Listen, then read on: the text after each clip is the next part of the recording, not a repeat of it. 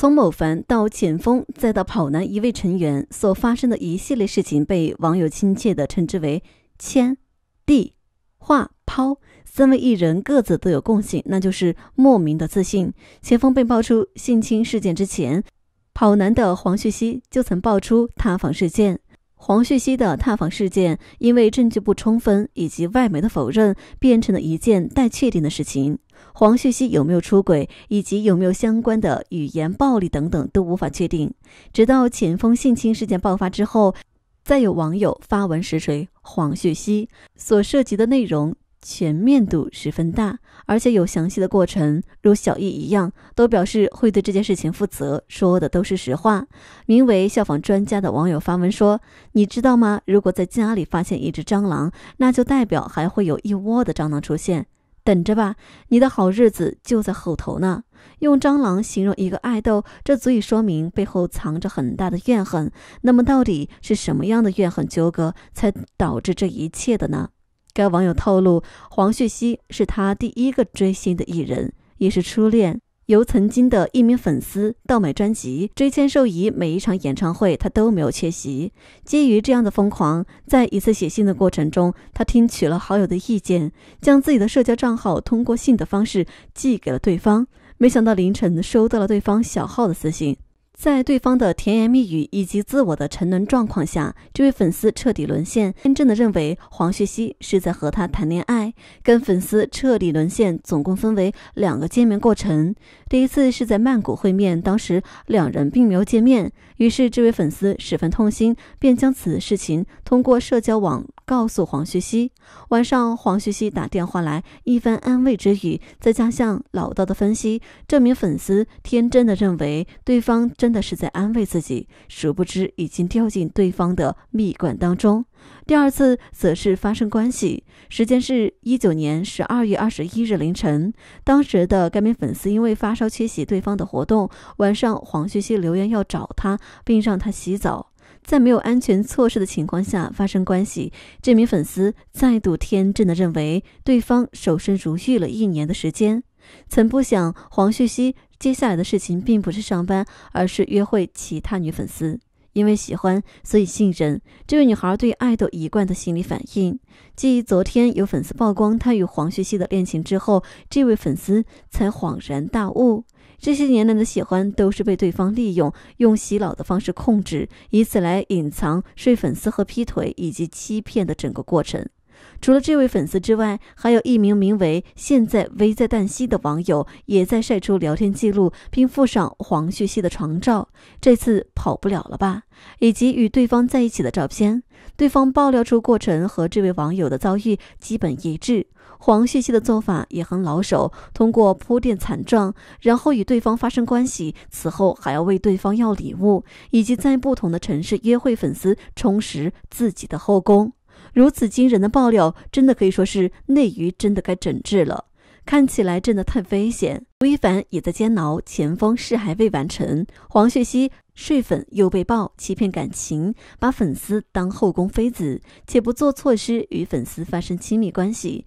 以前一看黄旭熙这几个字，会以为是韩国人，但最近看跑男才知道，这个男孩子印象不错，感觉阳光真诚，居然被曝光。娱乐圈真的是没有干净的地方了吗？八月二十四日，男星黄旭熙的瓜又更新了。除了韩国女友爆料锤实他，中国多位女生也晒出大量证据，希望粉丝们能看到黄旭熙的真面目。据悉，黄旭熙是个出道几年的小爱豆，所属组合为韩国 SM 公司旗下的 NCT，因为长相帅气而获得高人气，这几年是中国跑男的固定嘉宾之一。首先出来爆料的效仿专家。简称女生 A，她表示自己曾是一名粉丝，与黄旭熙取得私下联系后，她还觉得自己很幸运、很特别。直到二十三号见到韩国受害者的爆贴料，她才终于认清了现实，原来黄旭熙是个劈腿渣男。女生 A 从二零一九年夏天开始追星，不仅会买专辑、追签售会，还会去每一场演唱会。那年十二月二号，黄旭熙在北京有一场签售会，女生 A 受到好友怂恿，在给黄旭熙的信上写上了自己的社交账号。没想到刚刚送完信，她就在三点凌晨收到了黄旭熙用小号发的私信，对方要求加微信好友。为伪证自己说辞的真实性，她晒出黄旭熙曾经的朋友圈截图。并透露，他现在已经将朋友圈清空。加上好友后，黄旭熙说：“你想的话，你现在就可以过来酒店找我。”这个女护晕乎乎的过去了。凌晨三点到达酒店，黄旭熙熟练地躺在床上和她聊天，说了很多甜言蜜语，比如早就注意到她了，只拆了她的信。黄旭熙还透露，自己之前就私联过一个中国粉丝，但他觉得对方长得不好看，只是吃了饭聊了天就没再联系了。这说明他不仅一次这样对待粉丝，是个惯犯。私下见面的第一晚，两人大胆地做了一些亲密行为，而隔壁就是黄旭熙的队友。分开时，黄旭熙要求他不要和任何人说这件事情，还必须删除聊天记录。之后，他们就经常打电话聊天。黄旭熙对女生 A 说自己曾经的恋爱故事，直言自己没有时间照顾对象，虽然喜欢她，但没能力谈恋爱。他们第二次见面是在同年的十二月二十一号，也是在某场活动之后。女生 A 发烧没去活动，一直待在酒店。然后黄旭熙晚上来找她，两人在没有安全措施的情况下发生关系。而且黄旭熙说自己已经一年没有性行为，所以状态不好。然而对比中韩爆料中的时间线，可以发现，事实黄旭熙一天之内。前后约两人开房，横跨两国，时间很紧。女生 A 还透露，仅仅一场首尔演唱会，观众里就有三个和黄旭熙私下保持联系的人。二零二零年二月之后，黄旭熙表示，两人还是当朋友好了，提出要减少联系。但女生 A 说，这两年自己常常在娱乐场所碰到他，见到他仍然爱玩。除了时间管理很厉害，黄旭熙还在闲聊时自曝上韩国某军队综艺假装腰疼提前结束录制，吐槽内地综艺恶意剪辑。这位消防专家用整理好的证据怒锤黄旭熙，吃瓜群众大骂男方不负责任。然而一瓜未平，又一瓜起。另一位网友现在危在旦夕，也来爆料，简称女生 B。据他所说，某次追行程上，他意外的加上黄旭熙，两人开始联系。黄旭熙主动提出去他家里，并表示自己没有女朋友，哄骗女生。当晚，女生 B 将黄旭熙接回家，经纪人并不知情。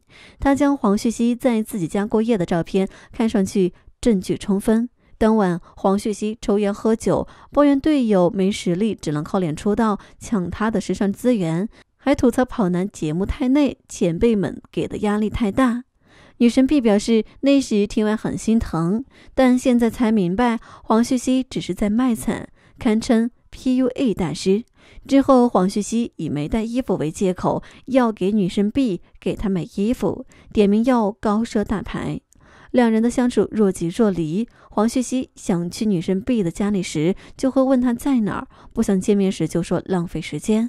后来女生 B 终于忍不了要摊牌，黄旭熙只说行程太忙，非常敷衍。这次中韩多位网友共同爆料，让女神 B 明白，黄旭熙有现女友的情况下，不会和别的女孩暧昧，会在不同城市约会不同女孩，充实后宫，还会在见面时说其他女孩的坏话。根据这两天的瓜，黄旭熙的房子不仅塌了，而且碎成了渣。韩国 SM 公司之前的回应是没有回应。明星有钱又有颜，就不能好好谈个恋爱，玩弄别人的感情，不洁身自好，终究会付出代价的。